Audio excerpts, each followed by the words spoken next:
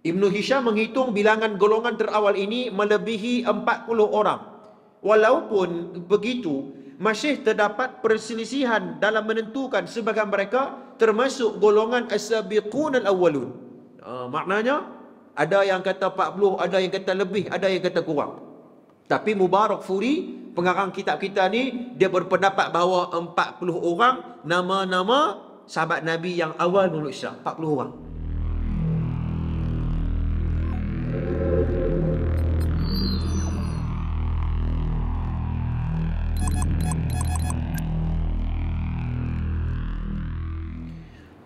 بسم الله الرحمن الرحيم السلام عليكم ورحمة الله وبركاته الحمد لله الحمد لله رب العالمين والصلاة والسلام على أشرف الأنبياء والمرسلين وعلى آله وصحبه أجمعين قال رب اشرح لي صدري ويرسل لي أمري. واحلل عقدة من لساني يفقه قولي. فقال الله تعالى في كتابه العزيز أعوذ بالله من الشيطان الرجيم. يرفع الله الذين آمنوا منكم والذين أوتوا العلم درجات. صدق الله العظيم. Muslimin muslimat yang dirahmati oleh Allah. Sebelum kita meneruskan pembacaan sirah kita pada malam ini Suka untuk saya mengajak terutamanya diri saya sendiri dan juga tuan-tuan. Marilah sama-sama kita merenung satu hadis Nabi sallallahu alaihi wasallam yang diriwayatkan oleh Imam Muslim dalam jami' sahihnya dan hadis ini dinilai sahih oleh para ulama muhaddisin daripada Abdullah bin Abbas radhiyallahu anhu anna dhamadan qadam al-Makkah wa kana min azdi shanu'ah satu hari ada seorang laki-laki nama dia Dhimad. Dhimad nama dia. Orang Melayu ni tak pakai sangat nama ni. Nah, tapi ini di kalangan orang Arab terkenal. Dhimad al-Azdi Anna Dhimad qadam al-Makkah. Dhimad ni dia bukan orang Mekah. Dia orang Yaman. Satu hari dia pergi dekat Mekah wa kana min Azdi Shanu'ah dan dia di antara kabilah Azdi. Ya, kabilah lama. Kabilah-kabilah yang asal usulnya pecahan daripada Aus dan Khazraj yang berada di Madinah satu ketika dahulu. Yang duk beraduh ratus tahun bila Islam datang di Madinah, Islam mempersaudarakan dua kabilah besar tu, Aus dan Khazraj. Maka asal usul Aus dan Khazraj itu ia bermula daripada kabilah Al-Azdi di Yaman. Wa kana yarqi min hadhihi rih dan Dhimat ni tuan-tuan, bila dia main Mekah, dia bawa ilmu. Dan dia ada pengalaman. Dia ada kemahiran. Kemahiran apa? Boleh merubat orang yang kena sihir. Ha, disebut dalam hadis ini yarqi min hazirih al-jin. Tukang-tukang sihir ni tuan-tuan, kadang-kadang dia dia hantar sihir ni melalui angin, rih. Angin, boleh tuan-tuan. Ha, jin, ada jin yang buat benda tu. Mana tukang sihir dia baca mentera supaya berlakunya apa dia sihir itu. Baik. Zimat ni dia pandai berubat orang, khususnya hak kena sihir daripada apa dia ar-rih yakni mai daripada angin tu. Yaqulun as-suha fasamha sufaha min ahli makkah satu hari bila dia sampai di Makkah dia berjumpa dengan sufaha. Sufaha ini para ulama hadis iaitu dia jumpa orang-orang yang tak ada ilmu. Sufaha mana orang yang tak ada ilmu. Dalam makna yang lain sufaha juga ialah mereka yang su'ul khuluq. Tak baik orang tak baik tak bagus. Orang yang tak bagus akhlak Dhimat ni jumpa geng-geng tu.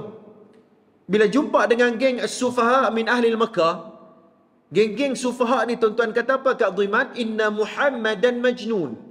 Dia kata, Dhimat ni kami nak bagi tahu dekat hang, Muhammad ni kalau hang jumpa dekat Mekah, dia majnun. Inna Muhammadan majnun. Dia gila. Ha, dia jumpa pun kebetulan jumpa dengan apa dia sufaha kalau Zimat dia jumpa dengan Abu Bakar, mungkin dia Islam awal kot. Tak boleh jumpa dengan geng-geng sebab tu suasana ini sangat mempengaruhi diri seseorang. Ya, siapa yang dia berkawan, apa yang dia baca, apa yang dia lihat, apa yang dia dengar itu membentuk diri seseorang. Zimat bila dia dengar propaganda begitu, kata Zimat faqala law anni ra'aitu hadha ar-rajul la'alla Allah yashfihu 'ala yadayhi. Kata Zimat, eh kalaulah hampa bagi aku peluang untuk jumpa Muhammad, na laula anni raaitu. Aku nak jumpa dia aku nak tengok dia dan aku nak berubat dia. Ha, dia, dia nak berubat sebab dia ada ilmu. Kau boleh berubat dia. Kok lah dia kena sihir pada orang mati angin. Sihir pada Muhammad kena aku nak berubat dia. Sebab aku dah dengar nama Muhammad ni daripada Madinah daripada Yaman lagi. Nah, Muhammad ni orang besar, maknanya orang yang berpengaruh. Ya, baik. Dan pada waktu ni Zuimat belum lagi memeluk Islam. Faqala kemudian orang Mekah As-Sufaha ni pun bawa pergi jumpa Muhammad yang Nabi sallallahu alaihi wasallam. Faqal ya Muhammad inni arqi min hadhihi rih. Dia kata bila dia jumpa dengan Nabi SAW, dia kata, Wahai Muhammad, aku ni pandai adalah ilmu sikit Tuhan bagi dekat aku boleh berubat orang sihir nah ha, dengan cara dia bukan dengan timbangan Islam lah. Maknanya dia belum lagi memeluk Islam. Nah wa inna Allah yashfi ala yadayhi ma sya dan aku ni dengan tangan aku ramai dah jadi sihat. Kata dia. Ha, disebab aku berubat dengan tangan aku ni ramai dah orang sihat. No hang tak mau ke aku nak ubat hang ni. Ya. Oh, dia kata lagu tu dekat Nabi SAW. Faqala Nabi sallallahu alaihi wasallam tentang tengok apa yang Nabi balas. Dalam sebagian ulama hadis, Al-Imam Nawawi dalam Syarah Al-Minhaj dia menyebut bahawa ini di antara cara ataupun kaedah Nabi sallallahu alaihi wasallam bila mana diajukan soalan yang berunsur propaganda ini. Sebagian ulama mengatakan bahawa dhimat ni Walaupun hati dia bagus nak tolong Nabi, makna nak berubat Nabi, tapi bila dia kawan-kawan dia duk cerita buruk pasal Nabi, maknanya ada sedikit perasaan tak baik itu kepada Nabi. Maknanya ditanya pun dalam soalan yang seolah-olah Nabi berada dalam kandang yang orang yang bersalah. Ya? Dalam kandang orang yang bersalah. Seolah macam marah Nabi itu. Lebih kurang begitu. Ya, baik. Kemudian Nabi menjawab, Innal hamdalillah. Nahmanuhu wa nasta'iduhu man yahdihillahu fala mudillalah. Wa man yudlil fala hatiyalah. Ashadu an la ilaha illallah. wahdahu la شريك wa anna muhammadan abduhu wa rasuluh amma ba'd. Oh, Nabi baca hak tu. Tuan-tuan perasan tak ustaz-ustaz kita tok-tok guru kita sebelum dia baca kitab dia baca hak ni dulu. Tuan-tuan perasan tak dan mereka ini membaca bukan tepi tepi jalan ni. Dia mereka ni mengambil pahala sunnah. Sebab tu apa pun kita nak mula ucapan kita ceramah kita kuliah kita mula dengan sunnah Nabi ini. Innal hamdalillah segala puji bagi Allah. Kita puji Allah dulu sebelum nak cakap tentang ekonomi, sebelum nak cakap tentang politik, sebelum nak cakap tentang sains, sebelum nak cakap tentang kemodenan dan sebagainya, puji Allah dulu. Karena semua itu datang daripada Allah yang Azza wa Jalla. Nabi kata innal hamdalillah segala puji bagi Allah nahmanuhu wa nasta'inuhu. Pujiannya hak kepadanya dan kita memohon pertolongan hanyalah kepada Allah. May yahdihillahu fala mudhillalah ya yang bermaksud jika Allah nak berikan hidayah kepada seseorang maka siapa pun tidak akan boleh menyesatkan dia. Maknanya apa? Kalau Allah nak bagi dia ni jadi bagus dia ni boleh merujuk kembali kepada Islam. Faham tentang agama menghayati nilai Islam dalam hidup dia siapa pun tak boleh sekat walaupun pada awal usianya dosa betapa banyak yang dia buat dosa ya tetapi kalau Allah nak berikan petunjuk dan hidayah dia nak berubah siapa pun tak boleh halang. Hang tok imam ke hang tok mufti ke hang ustaz ke pendakwah terkenal ke tak ada kuasa. Allah yang beri beri hidayah kepada dia Nah, wa man yudlil fala hadiyalah dan siapa yang Allah nak sesat dia. Bukan Allah suka nak bagi sesat hamba-hambanya dak, tapi dia pilih sendiri jalan tu. Islam sudah terbentang luas di hadapan dia, dia pergi cari pasai. Dia ambil selain daripada Islam sebagai cara hidup dia. Lalu dalam Islam disebut sebagai istidrat. Ya, Allah bagi nikmat supaya dia jauh lagi dengan Islam. Nah, Allah bagi dia harta supaya dia jauh lagi dengan Islam. Allah beri dia ilmu supaya dia takabur dan bongkak dan dia jauh lagi dengan Islam. Istidrat dalam Islam. Wa man yudlil fala hadiyalah. Siapa yang Allah nak bagi dia sesat, hang sesat lagi, hang pi jauh lagi daripada aku. Ya, fala hadiyalah. Siapa pun tak boleh petu- bagi petunjuk dekat dia. Nah, wa asyhadu an la ilaha illallah dan aku bersaksi bahawa tiada tuhan yang berhak disembah melainkan Allah nah wa anna muhammadan abduhu wa rasuluh. Dan Muhammad yakni aku adalah abduhu hambanya dan juga rasulnya amma ba'd bila nabi baca habis tu panjang mukadimah kita malam ni. Boleh kan no? tak apa. Ayat hadis. Sekali kita masuk sirah. Nah amma ba'd bila nabi berhenti tang tu dhimat kata faqal a'id ala kalim a'id alayya kalimatuk haula. Dia kata Muhammad hang tolong ulang sekali lagi perkataan tu. Yakni lafaz tadi ni ayat tadi. Ulang aku nak dengar.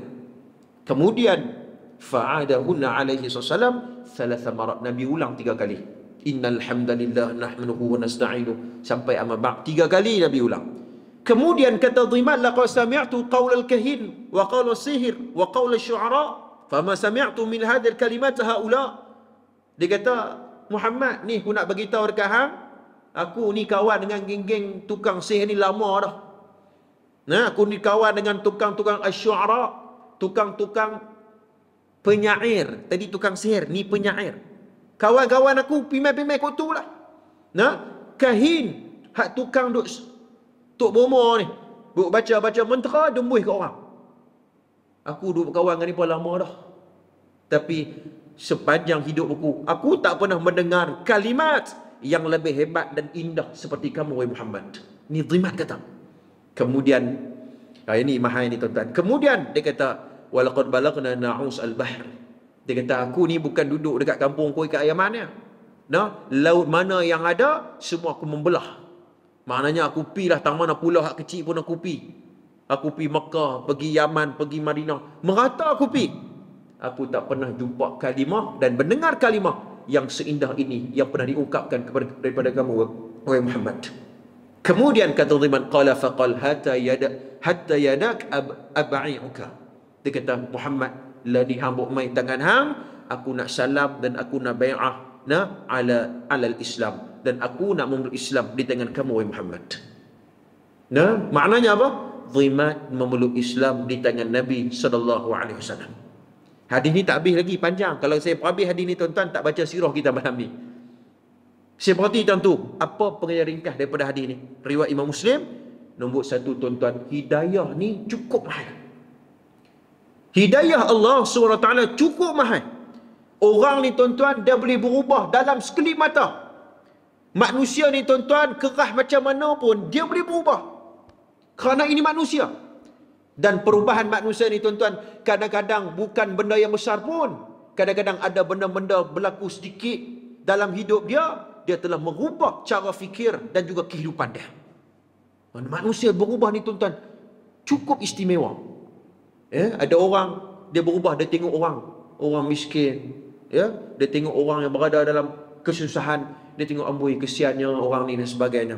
Dia pun jadi orang yang merendah diri dan sebagainya. Ada orang yang pada awalnya tuan-tuan tidak solat tapi tengok-tengok anak dia main tegur pak tak semayang ke orang lain tegur ustaz duk main tegur tak bunyi apa. Tapi bila anak dia tegur berubah terus dia. Eh anak aku tegur baik berubah dia. Maka dia berubah disebabkan walaupun benda yang kecil. Inilah inilah hidayah daripada Allah Subhanahu taala. Muslimin muslimat yang dirahmati oleh Allah Mudah-mudahan mukaddimah yang panjang itu yang memberi manfaat yang banyak kepada kita insya-Allah. Tuan-tuan sekalian. Kita sambung pembacaan sirah kita pada malam ini Ar-Rahiqul Makhtum Sofiyur Rahman Mubarak Fuli. Tuan-tuan sekalian. Pada pertemuan yang lepas kita dah cerita iaitu pada peringkat yang pertama jihad dalam dakwah. Maknanya apabila Nabi SAW menyampaikan dakwah di Mekah, Nabi ada dua fasa.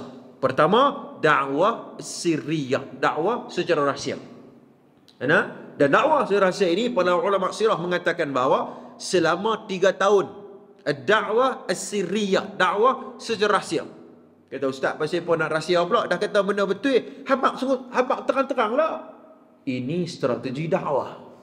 Sebab tu apabila kita membicarakan tentang Islam perlu ada strategi. Ya, dalam bahasa yang baik.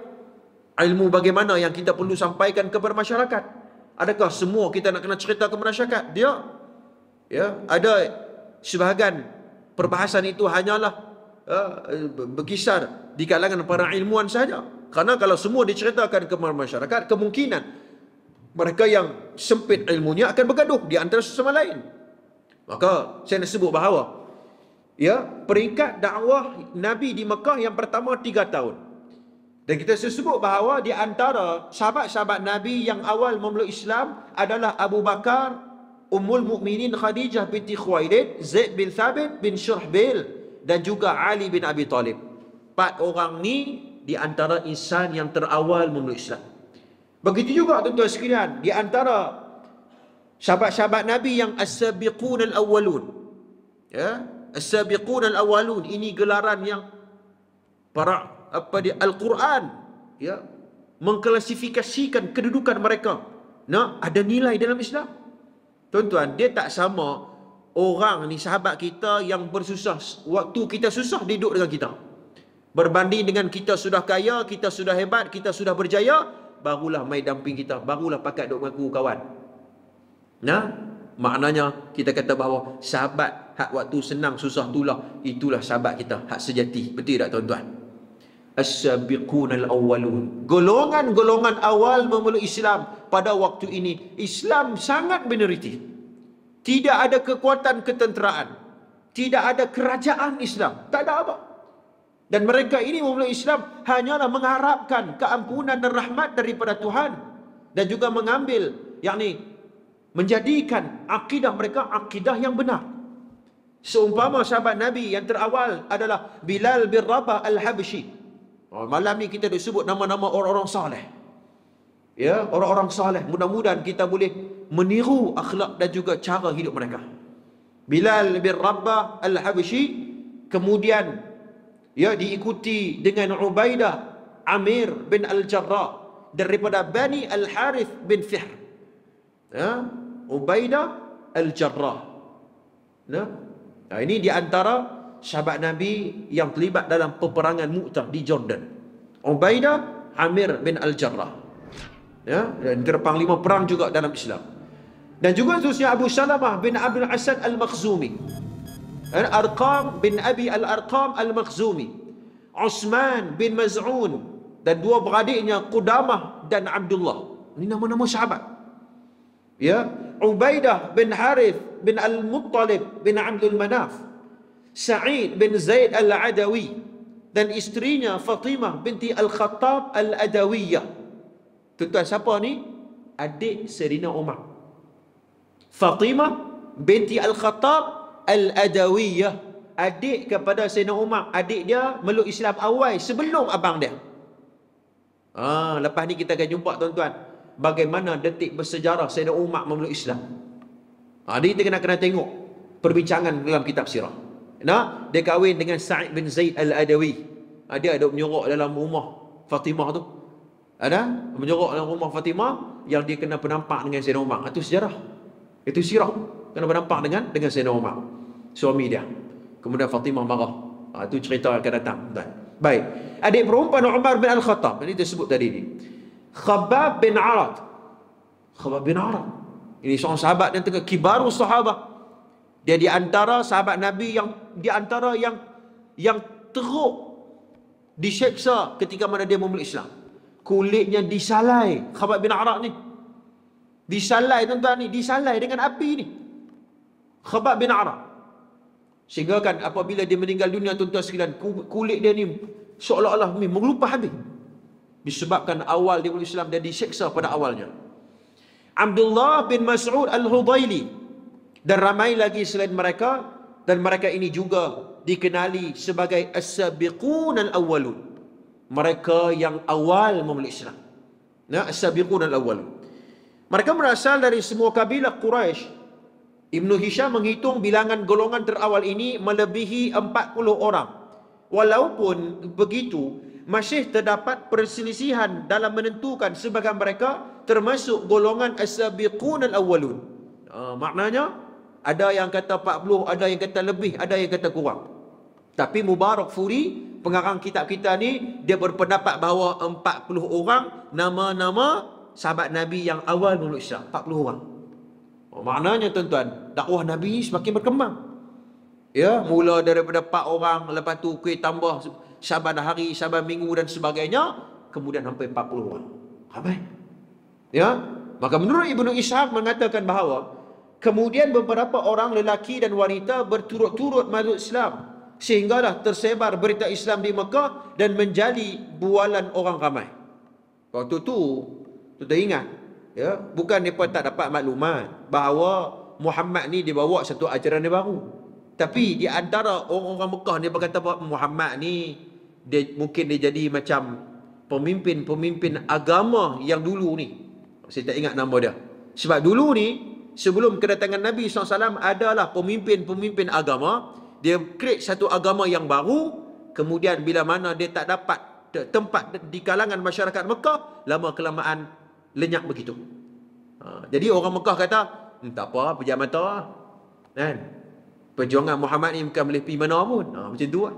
Bukan dia boleh, kita ramai, kita majoriti. Ya, ratusan tahun kita duk sembah berhala. Muhammad ni sikit je. Ya, lama-lama kita pejam mata pakat look begitu lah Muhammad ni. Ha, jadi depa pandang ringan terhadap perjuangan Nabi sallallahu alaihi wasallam. Yang dia tak tahu bahawa apa yang Nabi bawa itu bertembung di antara kebenaran dan juga keburukan. Tuan-tuan, fitrah insan ni, manusia ni tuan-tuan, jauh dalam lubuk hati kita. Nah, kita nak benda yang baik. Tidak tuan-tuan. Kita nak benda baik, kawan pun nak kawan yang baik-baik, nak benda yang bahagia, nak ketenangan. Yang ni fitrah manusia. Tanya pilah siapa pun. Buah tak mana pun dia tuan-tuan. Tanya dia, nak ada nak ada ketenangan, kebahagiaan, kejayaan? Dia kata nak. Kenapa? Maka ini fitrah insan. Sebab tu dalam istilah ni sebagai ya kemanusiaan. Ada nilai kemanusiaan itu. Dan Islam ini tidak membedakan di antara kemanusiaan dan juga Islam itu sendiri. Islam dan kemanusiaan. Ya, al-Islam wal wal al-dinu al-insaniyah. Ada satu buku dia bahas dalam perbahasan tersebut. Ya, baik. Kemudian mereka ini mengenal Islam secara rahsia Nabi SAW berkumpul dengan mereka untuk membimbing mereka kepada agama ini secara berselindung kerana misi dakwah pada ketika itu masih lagi dijalankan secara individu dan juga secara sulit. Selepas turunnya ayat-ayat awal surah Mudathir, maka wahyu mula turun berturut-turut. Ayat-ayat Al-Quran dan beberapa bahagian surah yang turun pada masa itu adalah ayat-ayat yang pendek mempunyai suku kata yang cukup menarik. Maknanya apa? surah Iqra itu tadi ni Iqra bismi rabbikal ladzi khalaq berlaku sakatul wahy maknanya kita sudah bahas pada pertemuan-pertemuan lepas yakni wahyu terhenti dia bukan turun tiap hari Quran yang kita baca 30 juzuk tuan-tuan. Dia bukan turun tiap hari. Hari ni turun surah Iqra lepas tu surah Ikhlas lepas tu turun Fatihah dah bukan sifat begitu Quran. Quran ini turun dia ada fatrah masa sakatul wahyi yakni berhentinya wahyu. Ya ada sebagian kata dua tahun tiga tahun itu pendapat yang sangat lemah. Ini menurut Mubarak Furi yang mengatakan bahawa hampir beberapa minggu sahaja. Ya baik. Saya nak sebut bahawa bila mana turun ayat surah Al-Mudathir maka mulalah ayat Al-Quran turun sedikit demi sedikit. Ya ayat sedikit demi sedikit. Dan juga ayat ini ya ayat ini mewujudkan ya suasana dakwah yang bagaikan berbisik halus ayat-ayat itu merangkumi ajaran supaya membersihkan jiwa melihat tentang keburukan jiwa yang tercemar dengan kehidupan-kehidupan dunia dan menyifatkan syurga dan neraka seolah-olah sedang dilihat dengan mata kepala. Ha, ini golongan as-sabiqun al-awwalun mereka mendapat didikan langsung daripada Nabi. Mereka ditarbiah sendiri di hadapan Nabi sallallahu alaihi wasallam.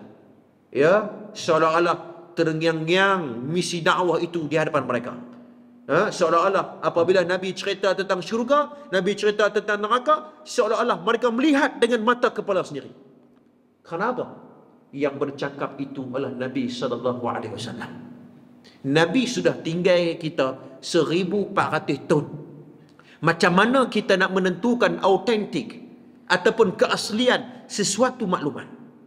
Betul tak tuan-tuan? 1400 tahun orang boleh tukar, orang boleh bertokok tambah, orang boleh tambah, orang boleh kurang macam-macam yang telah berlaku kepada kitab-kitab samawi yang lain seumpama kitab Injil. Ya, hari ini Bible kalau tak salah saya. Ya. Sudah ada tahrif dan tabdil dalam kitab-kitab itu. Ya. Sebab tu Al-Quran dan hadis ini tuan-tuan dijaga oleh Allah SWT. Allah jaga. Al-Quran Allah jaga. Dan hadis pun Allah jaga tuan-tuan. Jaga melalui apa? Melalui para ulama ya yang menjaga disiplin disiplin ilmu, qawaidul ilmiyah, qawaid ilmu. Kalau tak ada disiplin ini tuan-tuan, agama kita ni macam cerita kartun. Orang boleh tambah, orang boleh kurang, orang boleh ikut suka hati dia. Sebab tu al-ulama warasatul anbiya. Ulama ni pewaris Nabi. 1400 tahun Nabi telah tinggal kita. Macam mana kita nak tentukan bahawa agama yang kita anuti dan kita hayati ini ia datang daripada Nabi sallallahu alaihi wasallam. Pastinya Islam ada rujukannya. Islam ada disiplinnya. Lihat saja kalau lihat dari sudut the ilmu tafsir nak memahami tafsir yang nak memahami al-Quran mesti kena memahami tafsir al-Quran kena rujuk kepada tafsir-tafsir muktabar jangan pergi ambil tafsir-tafsir yang tidak berada dalam disiplin ilmu banyak bukan tidak ada. Ya. Dalam dalam dalam bidang hadis kena rujuk kitab-kitab sumber kita. Sumber-sumber kitab hadis yang utama dalam ilmu manahij muhaddithin yang disusun oleh ya eh, pada Al-Akfani, Subhi Saleh, ini tokoh-tokoh hadis. Manahij muhaddithin ini apa dia menyebut tentang apabila menyebut tentang hadis mesti kepada merujuk kepada enam kitab kutub sitah itu. Syiah dan kelompok-kelompok lain mereka tak pakai kitab sitah ini. Mereka pakai kitab lain. Contoh kita al-qidah ahli sunnah wal jamaah bila orang tanya kita mana kitab rujukan hadis kita habaq enam tu. Bukhari, Muslim, Abu Daud, Tirmizi, Ibn Majah dan sebagainya. Nah, ini kitab-kitab ya rujukan kita dalam dalam bidang hadis. Begitu juga dalam usul fiqh, qawaid fiqh dan sebagainya. Ya, ini disiplin bukannya kita mengpetik tepi. Ini Islam. Ada disiplinnya. Maka kita tidak tahu melainkan kita kena pergi tanya ustaz-ustaz orang-orang yang alim dalam bidang tersebut. Nah, muslimin mukminin yang dirahmati oleh Allah Subhanahu taala. Cara penyampaian ayat-ayat ini di kalangan orang-orang mukmin adalah salah satu salah satu cara yang agak terasing daripada yang diketahui oleh masyarakat manusia ketika itu. Oh, Nabi berdakwah, Nabi sampaikan majlis ilmu dekat mana? Dekat rumah-rumah para sahabat yang awal Islam. Termasuklah Arqam bin Abi Al-Arqam Al-Makhzumi radhiyallahu an. Ah, dia tak boleh buat kuliah ilmu macam ni ni. Ini kuliah umumi, pakat semua orang boleh mengaji. Pakat semua orang boleh datang ke masjid menimbang ilmu, mendapat maklumat-maklumat tentang Islam. Ini zaman kita. Kita bersyukur kepada Allah SWT. Allah memberikan nikmat Islam. Tuan-tuan, keamanan. Maknanya Islam ni tuan-tuan kita boleh duduk di sini dengan aman. Boleh buat ibadat, boleh datang ke masjid ilmu. Kalau tuan-tuan pergi ke negara-negara luar, azan pun tak boleh. Tuan-tuan. Dan kalau tak salah saya, kalau silap ni tuan-tuan boleh betul maklumat saya. Kalau tak salah saya di Singapura, Ya, masjid-masjid Malaysia tak boleh azan, speaker buka kat luar tak boleh. Ya, speaker tu mesti hanya dalam masjid saja. Itu di Singapura, sebelah saja tuan-tuan. Di Malaysia, tu dia kuliah maghrib, kuliah duha, kadang-kadang tu dibuka apa semua. Ha, tak apalah itu perbahasan. Jadi saya sebut bahawa tuan-tuan Alhamdulillah syukur nikmat kita duduk di Malaysia ni tuan-tuan kita boleh beribadat kita boleh mendapat ilmu-ilmu Islam secara aman dan sejahtera. Alhamdulillah. Illadhi bi ni'matihi tatimmu salihat. Ya, tapi itu pun tuan-tuan sekalian orang tak mensyukuri nikmat keamanan ni. Ya kan? Oh, macam dulu lah tuan-tuan, time PKP tuan-tuan, Hak duk cakap banyak hak kata masjid tak boleh masuk tuan-tuan. Hak duk cakap banyak tu hak puak tak main masjid. Bila masjid dah buka, kuliah ilmu sudah ada, mana muka buka ada komplain tu? Di Facebook, di Instagram dan sebagainya, mana itu? Ini individu itu. Hanya cakap saja. Ya? Hanya cakap, tidak pandai mengkritik saja. Tapi tidak beramal. Satu al-Imam Al-Ghazali dalam kitab dia, Minhajul Abidin, dia menyebut bahawa ya ahli ibadat ni tuan-tuan ataupun amalan kita ni tuan-tuan seumpama seperti seorang petani. Ini kata Imam Ghazali. Petani ni apa tuan-tuan? Kita seorang petani ni bila dia tanam satu satu pokok ya. Dia dia nak pastikan pokok tu pokok yang bagus, buah yang elok, dia ambil baja-baja yang berkualiti. Tak apalah mahal sikit pun tak apa. Penting hasil dia bagus. Dia beli, tak apa terpaksa. Dia kena disiplin, kena siram, jaga pokok dan sebagainya. Maka dia akan mendapat hasil yang baik. Berbeza dengan seorang petani yang dia hanya tanam, baja pun tak boh, siram pun tak. Ini kita Imam Ghazali, dia buat perumpamaan analogi orang yang ha, nakkan syurga. Ha? Maknanya, so, begitulah seumpama seperti orang yang melakukan amal soleh. Orang yang beramal soleh, dia bercakap dan dia melaksanakannya. Dia belajar, dia menuntut ilmu dan dia melaksanakan tuntutan itu. Maknanya dia bertindak bukan sekadar dia faham saja. Karena ada orang yang ada ilmu tapi belum tentu dia boleh beramal. Ya, sebab tu Ibnu Rajab Al-Hanbali dalam kitab Al-Jamu wal Hikam menyebut bahawa hidayah ini dia ada dua, hidayatul khusus dan hidayatul mujmal. Hidayatul mujmal ni tuan-tuan, pakat semua duk mengaku Islam tapi tak semayang.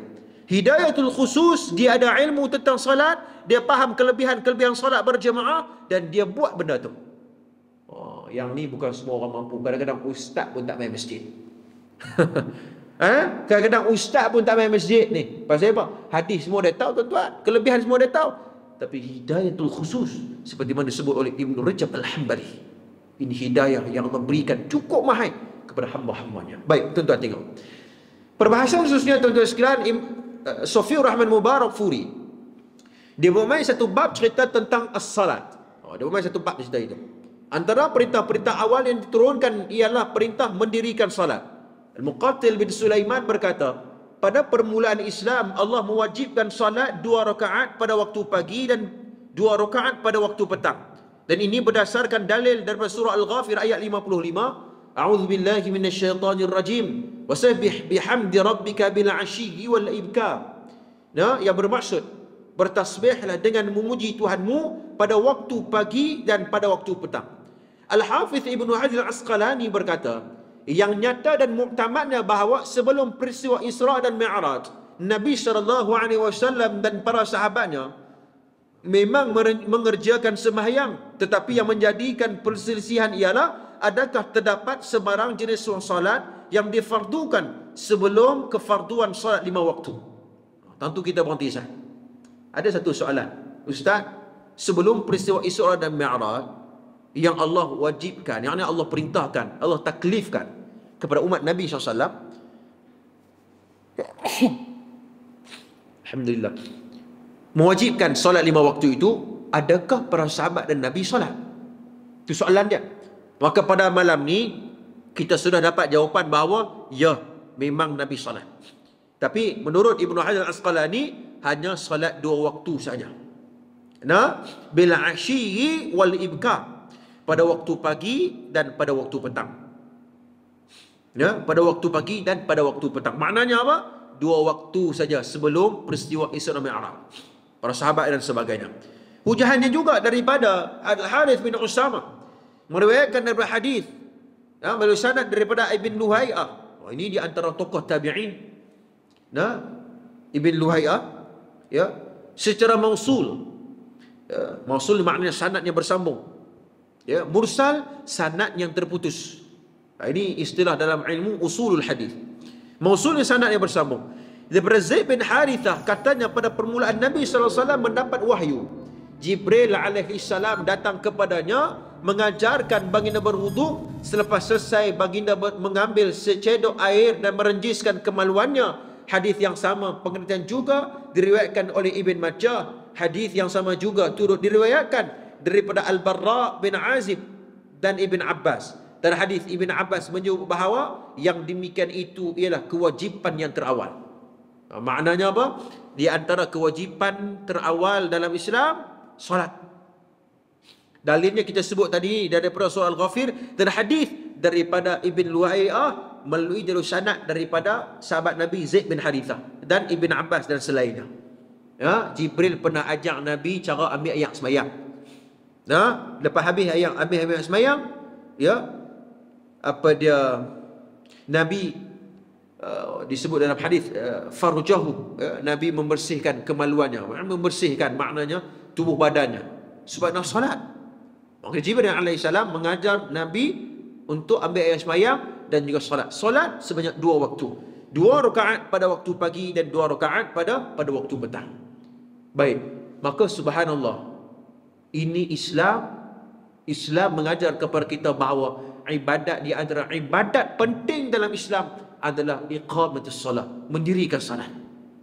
Nah, sebab tu solat ni tuan-tuan sekalian sangat-sangat penting bagi jantung bagi umat Islam. Dia kata bahawa dia orang Islam tapi dia tidak menekan solat. Bagaimana apa buktinya? Sebab tu dalam satu hadis yang direkod oleh Sayyidatina Aisyah radhiyallahu anha di antara ucapan-ucapan terakhir Nabi. Ada sebagian riwayat mengatakan begitu. Di antara ucapan-ucapan terakhir Nabi sallallahu alaihi wasallam sebelum Nabi wafat wa awsun nasa Nabi panggil sahabat-sahabat. Nabi panggil ni nak meninggal Nabi nak wafat ni Nabi panggil kawan-kawan. Nabi panggil sahabat-sahabat Nabi mai duduk rapat ni. Aku nak beritahu satu maklumat. Nak pesan satu perkara. Faqal as-salatu as-salatu wa ma malakat aymanukum. Ini ha, lafaz sebelum Nabi wafat. Maknanya ketika mana Nabi nak wafat. Ada sebagian pendapat begitu. Tetapi pendapat yang dipilih sebagai para ulama iaitu ucapan yang terakhir Nabi sebelum Nabi wafat juga adalah Allahumma rafiqil a'la. Ha? iaitu yang bermaksud ya Allah kekasih yang tertinggi. Ini ucapan sebelum Nabi wafat. Nabi baca satu Allahumma rafiqil a'la. Ya Allah yang kekasih yang tertinggi. Maknanya kekasih yang tertinggi Tuhan maha besar maha tinggi ha, tetapi riwayat yang terkenal di kalangan orang-orang kita ya sebelum Nabi wafat Nabi baca ummati ummati ummati riwayat itu laisa sahih itu ya bukan ucapan terakhir Nabi Ucapan daripada Allah, Allah merafiqil a'la. Itu riwayat yang sahih. Dan juga ini membuktikan bahawa nah, ucapan terdana Nabi ialah Allah menyebut nama-nama Allah SWT. Dan tidak ada ucapan yang paling bernilai dan yang paling penting adalah akhir hayat kita kita akhiri dengan ucapan la ilaha illallah. Yakni menyebut nama-nama Allah. Allahumma rafiqil a'la. Ini di antara min asma'ullahil a'zam di antara nama-nama Allah yang azza wa jalla. Muslimin muslimat yang dirahmati oleh Allah. Kembali kepada perbahasan tadi ini wa ausun nasa faqala as-salata as-salata wa ma malakat aymanukum. Nabi kata kat sahabat-sahabat jaga sembahyang jaga sembahyang jaga sembahyang dan hamba-hamba yang kamu miliki makna tuan-tuan sekalian kalau kita nak baiki agama kita baiki salat kita ya nak baiki cara hidup kita dalam beragama tengok muhasabah balik sembahyang kita lagu mana dari sudut kefahamannya, dari sudut khusyuknya, dari sudut tomak dinahnya, sakinah dan sebagainya. Ini dia. Nah, baiki salat, kita lihat kita kualitikan salat kita, maka Allah akan baiki kualiti hidup kita. Sebab itu dalam satu kitab yang disusun oleh para ulama, Ainal khashi'una fi salat. Nah, iaitu bermaksud di mana kekhusyukan kita dalam salat. Ada, saya ada kitab itu. Aina khashi'una fi salat. Di mana kehusukan ketika mana kita salat? Dan di antara salah satu cara para ulama menyebut bahawa cara untuk kita nak melahirkan kehusukan kita dalam salat, salat iaitu mestilah mewujudkan sakinatu wal wiqar. yakni mewujudkan suasana tenang dan juga mata kita dengan duk melewat kata. Ini juga disebut dalam uh, Imam Muslim dalam uh, pada sahih uh, pada syarah sahih Imam Muslim. Ya, sakinatu wal wiqar. Maknanya sebelum nak semayang jangan duk kalang kabut. Tenang, relax, ambil air semayang elok-elok, angkat takbir elok-elok, ya, supaya solat kita tu tak kopoh-kopoh. Dan mata kita tu wal wiqar. Wiqar maknanya dia tak merewang kata mata tu. Sekali dia tengok baju, kita tengok kepiah, ambil lawa kepiah tu imam ni. Dia dah semayang. habis mayang ni aku nak tanya untuk imam dia beli tak mana teh mayang tu lintah maknanya apa mata dia dia, dia tidak fokus, mereka tidak khusyuk. Sebab sakinatul wal wiqar ini ya, di antara cara untuk dan di antara juga ialah sebelum kita solat maknanya cara untuk kita mengambil air sembahyang memenuhi perkara-perkara sunat khususnya dalam sebelum kita ambil air sembahyang. Maknanya ambil wudu, ambil air sembahyang, kita memenuhi perkara-perkara sunat. Ha? begitu juga dalam ibadat ibadat solat kita dan sebagainya. Nah, maka ini di antara salah satu cara untuk kita mewujudkan suasana khusyuk dalam solat kita. Ha, ada satu bahas dalam kitab itu. Aina khusyu'un fi solat dan tulisan saya saya pernah bentang kitab tu bedah kitab tu di Facebook saya. Ha, Aina khusyu'un fi solat bedah kitab itu. Aina khusyu'un fi solat. Ini sangat sangat penting kerana solat ini adalah tunjang bagi kehidupan kita sebagai seorang muslim. Muslimin, muslimat yang dirahmati oleh Allah SWT Tentang saya akan itu dulu perkongsian sirah kita pada malam ini InsyaAllah pada pertemuan akan datang Kita akan bahas satu tajuk yang baru Iaitu dakwah al-jahriyah Dakwah secara terbuka Jadi kita akan tengok bagaimana Nabi menyampaikan dakwah. Bukan secara rahsia saja Bagaimana nak berkembang. Maka Nabi memerlukan strateginya Untuk mengembangkan sinar-sinar Islam Khususnya TV Mekah Al-Mukarramah. Saya dekat tu dulu perkongsian kita pada malam insya-Allah tuan.